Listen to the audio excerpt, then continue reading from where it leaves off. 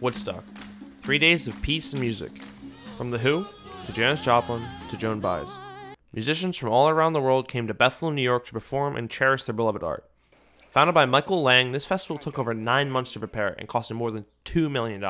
Fortune. Originally only expecting an audience of 200,000 people, approximately half a million showed up when the doors opened. The small town was completely overwhelmed as hordes of hippies moved their way to the nearby 600 acre dairy farm where the actual event took place. While many bands and musicians played on stage, some of the more notable ones were Santana, Jimi Hendrix, Janis Joplin, Joe Cocker, and Jefferson Airplane. Each and every musician was launched to the forefront of the public's eyes, and many rose to fame because of such. Decades later, Woodstock remains a vastly important event in musical history and a turning point for the counterculture movement.